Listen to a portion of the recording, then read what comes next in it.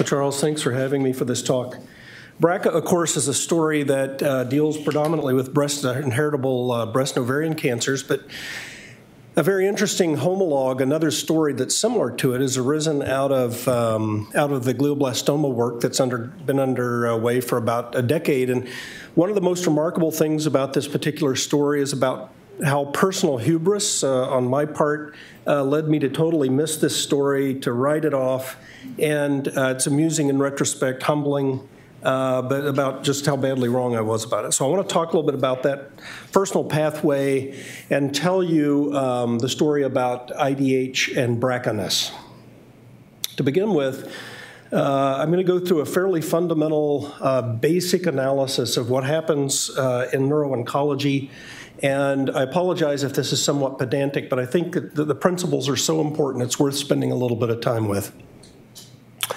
So what you see in the columns here are the three uh, known, the three well-known grades of uh, diffuse astrocytomas, and I distinguish that from, say, for instance, grade one pilocytic astrocytoma. Very, very different biology. All of the factors are completely different in that tumor, but these are hemisphere, typically uh, diffuse astrocytomas in adults. So what you see in the bottom is a uh, T2 FLAIR image, which basically demonstrates in an imaging way um, some of the fundamental biologic characteristics of tumors of these tumors. So in the left anterior temporal, medial left uh, temporal lobe there, you can see in the low-grade astrocytoma that there's an area of mild uh, tissue expansion. It's a little bit bright on FLAIR. Uh, it doesn't show any surrounding vasogenic edema, which is very, very important. It kind of fades off posteriorly uh, into the brain tissue. And then if you look above at the post-contrast T1 image, you see that there's no contrast enhancement within that tumor. So basically what this represents is the imaging findings of the biologic features of low-grade astrocytoma where there's an increase in cell density, but no vascular proliferation, no evidence of necrosis, et cetera. Now, when you move to grade 3 astrocytoma, again in the FLAIR image below, this particular patient, uh, who was biopsy proven to have grade 3, uh, had this signal abnormality, but again, not a lot of evidence of vasogenic edema. And I want to point out from, because I love this imaging stuff, but I just want to point out that appearance in the, the low grade and the grade 3, that's what tumor looks like on FLAIR as compared to glioblastoma, which we'll get to in a moment, where that really bright finger-like appearance is actually vasogenic edema plus some infiltrating tumor cells. But in the case of the grade 3 astrocytoma, after the patient was given uh, gadolinium, there was solid nodular contrast enhancement within that lesion, which of course uh, refers to the fact that, or is uh, due to the fact that the patient now has uh, angiogenesis in this lesion, and that would be another key factor kind of demonstrating that the tumor's uh, picking up a more aggressive nature. On the far right is uh, the very well known feared and uh, terrible glioblastoma. You can see um, that here we uh, have a lot of vasogenic edema. You can see it going down into the optic chiasm. Uh, there is tumor infiltration wherever you see edema and further on. And then in the contrast image, there's peripheral contrast enhancement with central necrosis, a sine qua non feature of glioblastoma. And what you have here is not only blood vessel proliferation, but the tumor outgrowing its metabolic supply. And these are all key features of, uh, of glioma. Now, one of the important things to say about low-grade tumors is, is that the, uh, that appearance on MRI scan is by no means proof that it's a low-grade tumor. So it is very common to see, uh, and it was the case in this patient, that um, this tumor uh, rapidly uh, became grade 3 astrocytoma. The fact that when we biopsied it, we found he was 56 years old, which is, uh, I want to come back to in a minute. When we biopsied that tumor, we found what the pathologist diagnosed as grade 2 astrocytoma, but the tumor was in an active phase of undergoing anaplastic transformation to grade 3, which became apparent within six months. The absence of contrast enhancement doesn't prove low-grade tumor. So you have to biopsy the lesion. You can't watch it and say, oh, it looks like a low-grade tumor, we'll watch it. On the other side, the presence of contrast enhancement in a biopsy proven low grade tumor means it's not low grade. So it's one of the really high risk features that we think about in a histologically diagnosed low grade tumor. If it's got contrast enhancement and it's a diffuse astrocytoma, you better think of it as a grade three right out the door because it's going to act like a grade three. Similarly, with the presence of edema, edema again is a marker of uh, transudation of fluid out into the brain tissue, which means that abnormal blood vessels vessels are being actively formed in the tumor. Peak age incidence um, 30s, 40s, 50s to 60s. And that's a very interesting thing. Another feature that's very interesting is, is that when you have a low grade tumor, the likelihood of transitioning to high grade tumor over time goes up rapidly. When you reach 45 years of age in a patient with a low grade tumor, there's a 50 50 chance that the patient's got grade 3 when you, bi- when you biopsy a, a non enhancing tumor. And so, one of the well known features about these low grades, and in part why we worry so much about them and why we treat them aggressively now at, at the time of diagnosis, is because of this well known tendency to slide from the left side of the slide to the right side of the slide, presumably as additional genetic changes are picked up in these tumors uh, to drive some of the features. So when we see glioblastoma where there was a known low-grade component, as you know, that's called secondary glioblastoma, that represents about 25, about 20% of glioblastomas, and it's one pathway to the formation of GBM. The other 80% are in older patients typically, and they have so called de novo glioblastoma, such at the time of first symptoms, uh, the tumor clearly is, uh, is uh, very high grade. The genetic pathways that underlie the progression of the uh, formation of those two uh, is very interesting and gets to this story uh, that I want to tell you about IDH1. So, back in the day when I was running a basic science laboratory and doing tumor genetics, we did a lot of single gene analysis looking at mutations. My, my lab worked a lot on the, the RB gene, uh, and we showed that it was key to the transition between low and high grade tumor, but it was uh, blunt work. It was really hard. We did one gene at a time. And it was really hard to understand the distribution of genetic changes that were actually occurring in these tumors because it was a very reductionist approach, gene by gene approach. The Cancer Gene Atlas, TCGA, took a completely different view of this. And basically, in 30 different cancer types, with a large number of tumors in each one of those cancer types, they did next generation sequencing. And it was only then that the sort of broad spectrum of genetic changes uh, underlying the formation of these tumors actually uh, became apparent. So the TCGA had a number of really fundamental findings in it. First of all, before TCGA, it was widely assumed that there were about 100,000 protein encoding genes in each somatic cell. By the time TCGA had done its work, that number had been reduced fivefold. We now believe or fourfold. There, we now believe that there are 28,000 actively uh, or, or, genes that would uh, encode proteins within each cell. And the TCGA, because it took this global view of all the genetic changes that were occurring across the exon, the exome, the exons, uh, discovered that there were about 30 to 60 genes that were abnormal on average in a cancer cell. And of course, that varies widely. I'm going to show you some data on that in a minute. It varies widely from uh, a few changes to a very, very large number of changes, but on average, it's about 30 to 60. And that's less, you know, when I was sort of growing up in neuro-oncology, that's fewer gene mutations or, or, or um, um, uh, alterations than I, I would have thought. I would have thought it would have been much higher than that. But it, whoa, that was really cool. Has this thing got a pointer? Was that it? Oh, too high tech. So it turns out that there's a bunch of different kinds of mutations, uh, and TCGA was fundamental in this because instead of looking at the RB gene, I did that for five years. It's the only gene I looked at, right, and the, the complex. Now we could actually look at the wide spectrum of changes occurring, and so it turns out that the vast majority of genetic changes in these 30 to 60 gene alterations are actually what are known as passenger mutations. They're actually mutations that occur, you can detect them, but they're not actually contributing to the neoplastic phenotype. Then moving upstream at that in terms of types of, of uh, mutations, there are driver mutations, which are fundamentally important to the development and uh, growth of the tumor. And a driver mutation basically uh, is any mutation in the tumor which is fundamentally important to selective growth advantage for that tumor cell. That's how a, a driver mutation uh, is. Um, is defined.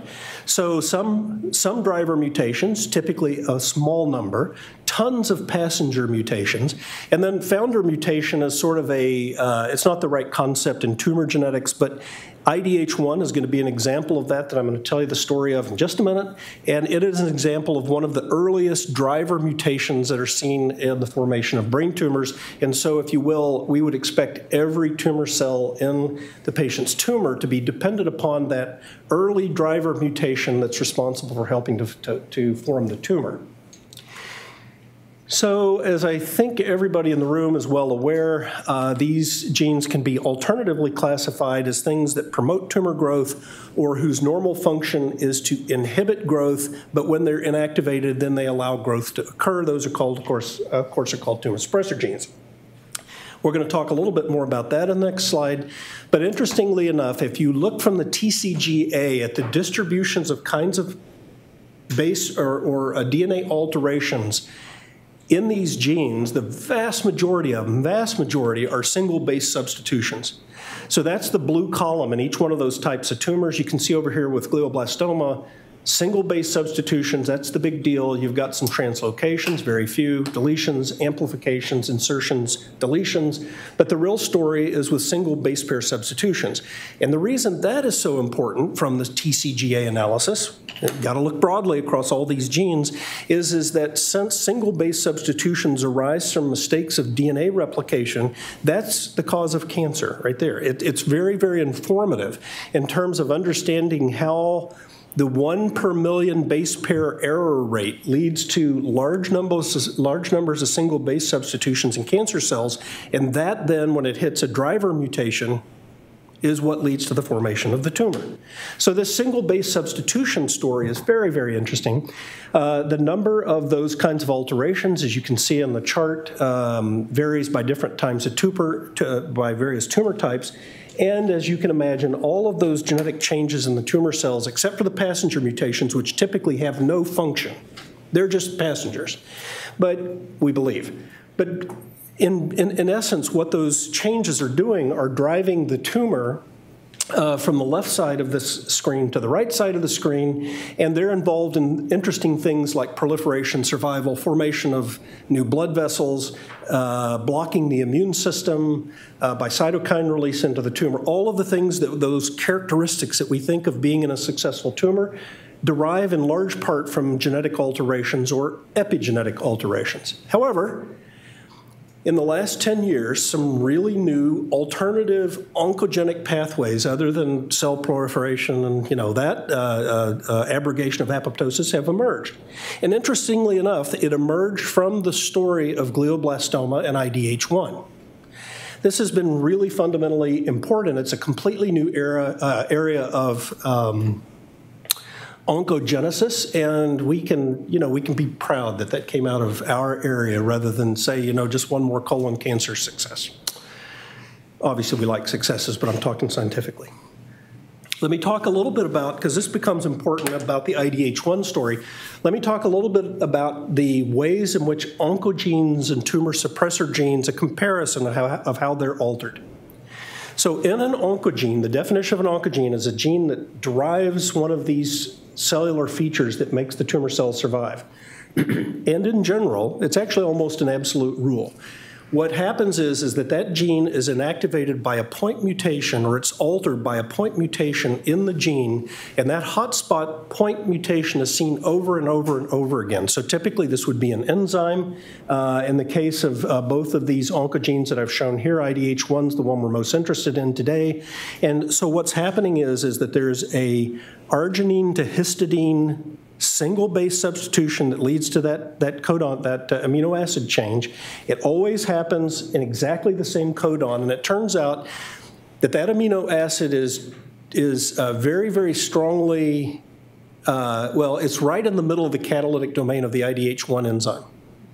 And what it does is, is that it knocks the enzyme out.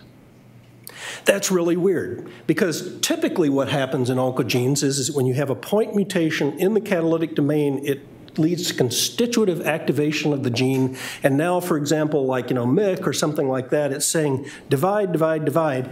This is an inactivating point mutation that's seen over and over again, but it actually inactivates the protein rather than activating it. So already this IDH1 story is looking really odd. There's something funny going on here. If, on the other hand, you look at tumor suppressor genes, they're inactivated by all kinds of mutations all over the place. Here's, here's another really important factor. See the, the missense versus truncating mutation.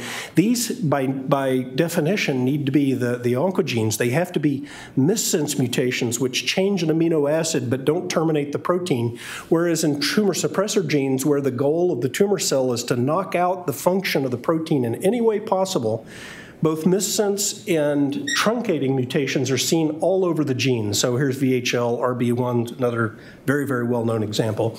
And again, I want to come back to the fact that IDH1, something funny is going on with IDH1. And it is an absolutely fascinating new area in, uh, in oncology. Now, I know you've already seen this slide at least once a day.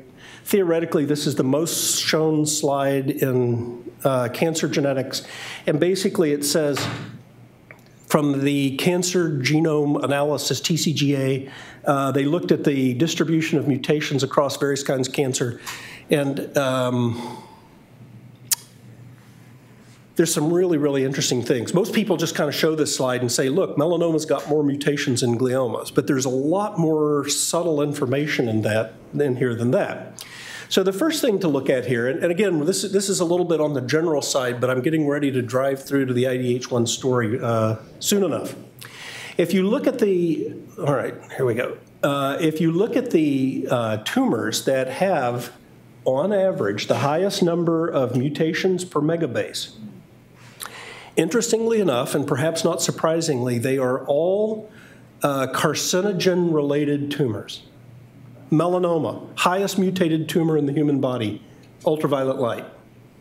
Lung cancer, lung cancer, bladder cancer, lung cancer, all smoking related, heavily smoking related. So if you're pouring carcinogens into your body, or allowing them to not here perhaps, but uh, you know you're allowing the, the, the sun to do a number on your skin, particularly in young age. Uh, the high number of mutations that are produced by those um, those mutagens lead to this pattern of ending up on the far end. Notice this is a log scale over on the left-hand side. And uh, Dr. Markert uh, referred to this a moment ago, but here's where you get the most neoantigens, a neoantigen being an abnormal protein from a mutated uh, normal uh, gene, and the cell's supposed to recognize that as foreign and get rid of it, and very, very high number of neoantigens in melanoma, and all of those tumors are the ones that are most likely to respond to immunotherapies. I was very surprised when I saw this slide because I always thought glioblastoma, it's the nasty, you know, it's like we vie for pancreas cancer docs versus, you know, uh, neuro-oncologists as to who has the, the most dangerous tumor, bless you. And um, turns out that gliomas actually sit pretty low on the mutation burden spectrum. And look at old pilocytic astrocytoma down there at the far left-hand side. It's barely got any mutations in it at all. So there's this, there's this thing that, you know, this pattern that goes up with the um, number of uh, mutagens. But the other interesting thing to look at is, is that in some of these cases, not all of them, they're also related to the number of cells turning over in that potential, in that, in that organ. So we think of breast cancer as being, you know, 100 times more common than brain tumors, maybe more. In part, that's because there's a lot of cell activity where those single base substitution errors can occur and lead to cancer. In the brain, we've got a few uh, progenitor cells along the ventricles which are turning over from time to time, and those are probably the ones that get the mutations in them, et cetera. The other thing that's really interesting about this is, is that people always show the, the sort of the median, the line going up. But look at the variation for each one of those tumors. It's very, very high. So yeah, glioblastoma has tenfold less mutations in it on average than melanoma does, but the number, the, the range of those mutations is actually very high. And so we don't want to forget about the fact that it may not be a high mutation burden tumor on average, but for some patients it is. So um, this is a this is a flow diagram that I know everybody's seen many times. It gets changed every so often, and it changed a lot when the IDH1 story came out. And the way this is this has now been incorporated into the uh, WHO classification revision. And so for uh, a presumed um, uh, stem cell sitting in the brain somewhere, if you don't, if it doesn't start with an IDH1 mutation, that's how you get to primary glioblastoma. If there is a mutant IDH1 gene, then you either go down the 1p19q pathway to oligos that's now required to make that diagnosis, or you go down the, TP, the, uh, the p53 pathway to get to diffuse astrocytoma, and then ultimately to secondary glioblastoma. But at secondary glioblastoma, we still see the IDH1 mutants. So what is this IDH1 story? It's absolutely fascinating. So I first read about this in 2008. I saw that, I think it was a science paper. And um, IDH, isocitrate dehydrogenase, is a Krebs cycle enzyme. There is no way in Earth that a Krebs cycle enzyme could have anything to do with oncogenesis. That just doesn't make any sense. And I thought, well, that's another one of these passenger mutation stories that aren't to aren't going to matter, right? So uh, this was discovered to be present in a lot of gliomas, and then on subset analysis, it turned out that almost all low-grade uh, gliomas carry them. Primary glioblastoma does not. And here's a crazy thing. When you have an IDH1 mutation, you got two alleles of the gene. One is mutant, one is wild type. Typically, what happens is, is that when something's trying to inactivate uh, a problem, if, the, if, the, if you're trying to inactivate a gene, you'll get changes in each allele. But in this particular case, this was a, a mutant wild type heterozygote. And so there was a wild type copy of the gene, and then this highly conserved mutation in the catalytic domain was seen as a hotspot mutation. And in 98% of people, it's either R132H, so 131st amino acid, uh, changes from an arginine to a histidine, which interestingly enough is a conserved mutation in the sense that they're both, um, they're both um, hydrophilic uh, amino acids. And occasionally the gene IDH2, which is in the mitochondria, IDH1 is cytosolic. Occasionally IDH1 mutations are seen. But again, it's interestingly enough, it's in the same place in the catalytic domain and it's an arginine to histidine.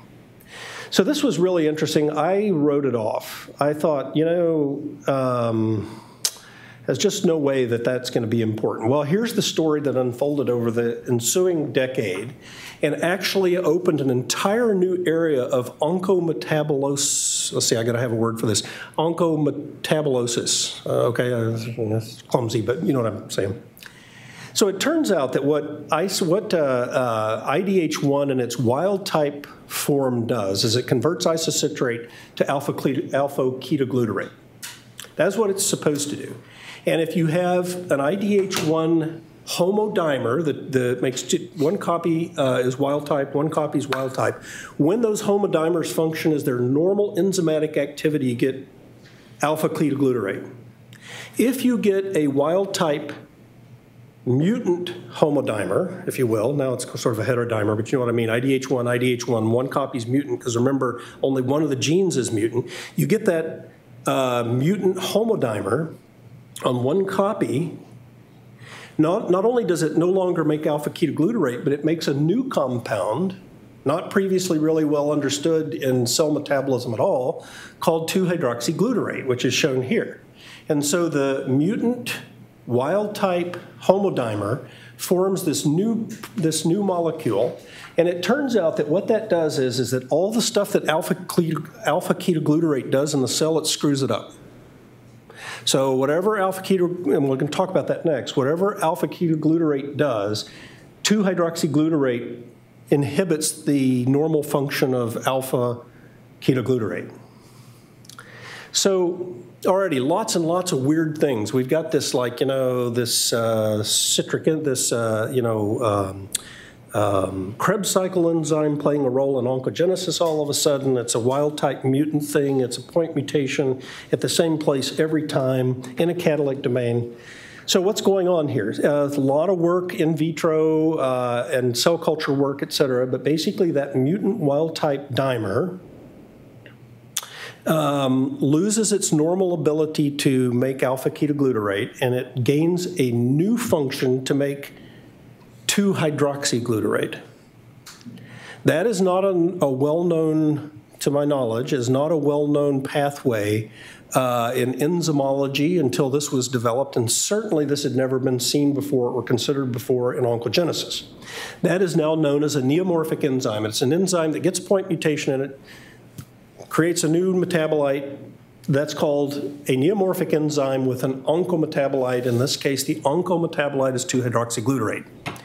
So, so far, is that, and I just, well, not a show of hands, but maybe nods, is that, is that concept kind of coming through or because it's key to the next part. Okay, great, great. So brand new stuff, right? Right out of neuro-oncology, we've got all these new things coming along, and I'm still, you know, sort of scratching my head and going, uh-huh, so what's this 2-hydroxyglutarate? And it turns out that it screws up all kinds of normal processes in the cells, but a couple of 2-hydroxyglutarate mechanisms are really worthy of uh, a little bit of, of, of consideration. So one of the things that 2-hydroxyglutarate oncometabolite does is, is that it inhibits alpha ketoglutarate dependent oxygenases. And this is getting almost to the limit of my vocabulary here, as you'll notice. I'm not an enzymologist. But alpha ketoglutarate dependent oxygenases do a bunch of things in cells that help to maintain all sorts of cellular homeostasis. It's got energy considerations, it's got lots and lots of different things. But two of the things that are very interesting from the neuro-oncology standpoint is, is that it vastly changes the epigenetic landscape of the cancer cell. And it has a very, very interesting function in altering DNA repair. So on the epigenetic side, and that's not where I'm going to focus my comments, but there's still a ton of work going on in this area. Um, CPG island methylator phenotypes, that's where uh, CPGs get methylated um, on the guanine residue at a, at a, very high level compared to normal cells. So it's a methyl group that goes on to the CPG island. And in neuro-oncology, we worry a lot about whether patients have MGMT methylated cells. Well, the MGMT methylated promoter, which shuts down synthesis of MGMT, is a CIMP process. So, if you have a IDH1 mutation, you're much more likely to have a tumor with MG, uh, MGMT methylation because it methylates broadly across the genome. The other thing that happens is, is that it also leads to the methylation of histones, and histones, of course, are widely responsible for the uh, um, uh, packing of DNA, and when a histone's sitting on a gene, it can't be expressed. And so the way histones interact with genes is very important in terms of which genes get expressed and which ones don't. And histone binding is regulated by methylation of the C-terminal end of histones, some other areas, and that is uh, you know, a lot of work on this now. That's been dramatically altered if you have this 2-hydroxyglutarate oncometabolite. But what I'm here to talk about today is the change in homologous recombination. This is where the BRCA story comes in. So BRCA, uh, that is a breast and ovarian cancer uh, risk gene. And what that gene does when it's abnormal is, is that it disrupts homologous recombination repair of DNA damage. And so it's a secondary effect, if you will. So BRCA gets mutated. The cell accumulates a lot more mutations because it has this homologous recombination problem. And that homologous recombination defect is known as BRCA-ness. BRCA-ness. And it turns out that 2-hydroxyglutarate induces BRCA-ness in gliomas. And so now we have this interesting tie to all this work with, you know, with uh, BRCA, BRCA, and the interesting thing about that is, is that there are two related pathways that control the, uh, the two predominant pathways that control DNA repair in the cell are this BRCA-ness pathway that I just referred to that gets screwed up by these changes that occur in the cell with the, with the oxygenases. And the other pathway is called single, uh, um, um, single base pair excision repair and that is mediated by an enzyme known as PARP. And so the thing that's really exciting in ovarian cancer right now, really exciting, is, is that in women who have ovarian cancer that have BRCA gene knocked out, if you come in with a PARP inhibitor like olaparib, and you knock out PARP, it's what's called a synthetic lethal mutation. A synthetic lethal mutation is when the cell's already got one pathway blocked, there's another pathway sitting there just doing fine, and you come in with a drug and you block the second pathway. That's called synthetic lethal. And so in IDH mutant gliomas, the whole idea of that PARP pathway now becomes very, very interesting. I mean, it, it, it's stunning what's going on in ovarian cancer with these with these PARP inhibitors. They're just uh, it, it's truly remarkable how much benefit women are gaining from this. And so there are two key concepts that I want to just reflect back on. So one is a neomorphic enzyme and an oncometabolite concept. That's where a mutation changes the function of these proteins in a way that doesn't kill it, but creates an oncometabolite. And for that reason, it's a oncogene, not a tumor suppressor gene and it has mutations, as you'll recall, in one place every time in the catalytic domain. It's clearly an oncogene, but this time instead of having a direct pathway to cell proliferation, for example, what's happening in this case is, is that oncometabolite is setting up a, a, series of changes that actually allow this, the, the glioma cell to uh, become, um, uh, you know, a, a, glial cell to become progenitor cell uh, to become a glioma. And the second big concept is this idea of the synthetic lethal, where you have one, one of two pathways knocked out by the cell, and then you come in with a drug and you inhibit the second pathway, and that's called synthetic lethal. It's a very, very interesting concept. And um, those are the two, the two big things that I'd like for you to remember from this talk. Fortunately, we can detect IDH1 uh, mutant tumors with an antibody. So this antibody was developed in uh, Andreas von Deimling's lab in Heidelberg, and basically what he found, or Berlin, don't quote me, uh, what he found was he created an antibody that recognized the mutant epitope. So if the tumor stains, like on the right side, then you've got the R132H mutation. About 98% of the mutations are in that particular site. And so it's a very easy assay to allow us to determine whether a patient's tumor is IDH1 mutant or not. If the staining is negative, then you have to go and sequence for the other rare mutations. IDH1, IDH2, they've got some really, really interesting phenomena. Their um, uh, IDH1 mutation predicts much better behavior in any glioma than the same glioma by histology that doesn't, that's wild type. It's very, very strong predictive uh, or prognostic.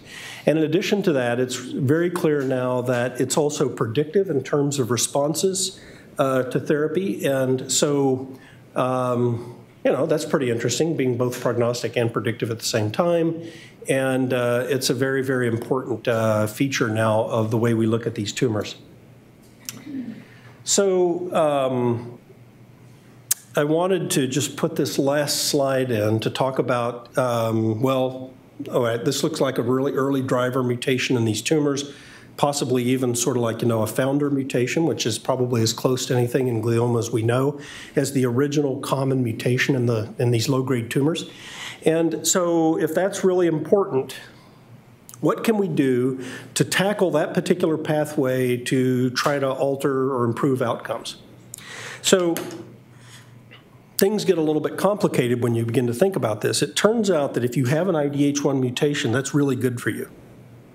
So it might be that the last thing on earth we want to do is to go in and alter this IDH1 mutant pathway because maybe that makes you do worse, right? I mean, it could be. Um, interestingly enough, in AML, I've got something up there on AML. On AML, there's currently, turns out that there's about a dozen other tumors that have IDH1 mutation in them. AML is one. And in AML, IDH1 mutations are a bad prognostic factor. So the production of 2-hydroxyglutarate in AML, you want to get rid of it, and there's already a small molecule inhibitor approved to block the IDH1 enzyme in AML. But in gliomas, where it's a good prognostic factor and it predicts the fact that patients respond to tumor, it could be counterintuitive to go in and block that, block that enzyme. And so um, there's a really good reason not to go in and try that small molecule inhibitor in gliomas. In gliomas, um, uh, there are uh, there's evidence that uh, if you use a PARP inhibitor uh, or if you use a, a, one of these direct IDH1 inhibitors, that they don't get that the, the, the cells don't die when you irradiate them. And if you use a PARP inhibitor, which kills glioma cells with IDH1 mutation very nicely in a petri dish, that it protects them against all kinds of things. So we've got good reasons to avoid IDH1 inhibitors in gliomas. Well, okay, so fine. It's also a neoantigen. It's a mutant protein. Mutation gets expressed on the surface of cells in context of MH, MH, um, uh, MHC1. Could we actually use that uh, as a signal that maybe patients would respond better uh, to uh, immunotherapy? So there's currently a study. Uh, these blue ones are, are um, uh, these blue uh, are links to clinicaltrials.gov where studies are being being done, and there's a, a study of a checkpoint inhibitor in patients with IDH1 mutant gliomas, and they get randomized based on whether, according to their mutation burden, there's a high mutation burden or not, hypermutator phenotype.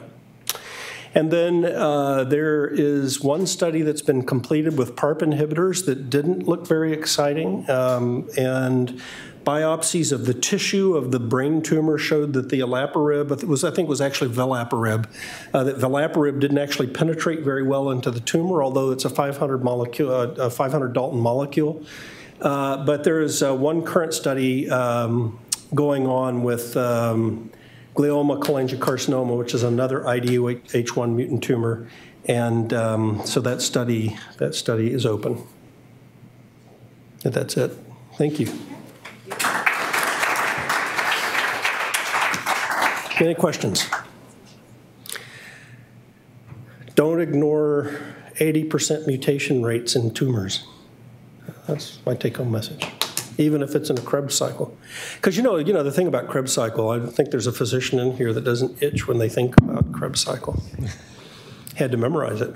NADH one, two. Um, couldn't be, but it was. John, actually, I do have a question. Has anybody tried convection enhanced delivery with PARP inhibitors into brain tumors? Um, because you need to get them there, and they really won't go across the blood brain barrier, the ones that have been looked at at least. Well, I, I, I don't know. Tara, do you have any idea about that? I, I don't know. It's an interesting idea. Yeah, I haven't seen any studies to that effect. Sean or, or Dan, I don't know if you have either. Um, all the other convection enhanced delivery attempts really just been proof of concept that you can get drug to target. Um, and that you don't, generally speaking, you don't hurt people. That you, generally speaking, don't hurt people. But and other than that, nothing really happens. and and the issue is is getting it anatomically to, to target. But really, what you're doing is just pumping the interstitial space full of this chemical. It doesn't solve the issue of actually getting it into the cell. And when you're talking about a molecular target, whether it's uh, inhibiting a transcription factor or altering a promoter site, if you can't actually get it into the cell, it doesn't matter how you get it there, whether it's you know a, a, wafer that you're depositing at the time of surgery, or convection enhanced delivery, or oral therapy, or IV with or intraarterial blood-brain barrier disruption. You can't get it into the cell; it doesn't matter, and that's really always been the problem in the brain. We should put in one of Jim Markert's viruses. That would get it there. Oh, um, uh, I think oncolytic viruses have been given via convection enhanced delivery. I believe. I, mean, I mean, putting a PARP inhibitor. Oh. In, into. Oh. So somehow. Yeah, there you go. Yeah. Well, I think yeah. The point is we need a we may need a, deliver, a different delivery mechanism, or it could be that this pathway is very pretty, but it won't work. That's another possibility, but we don't know that yet.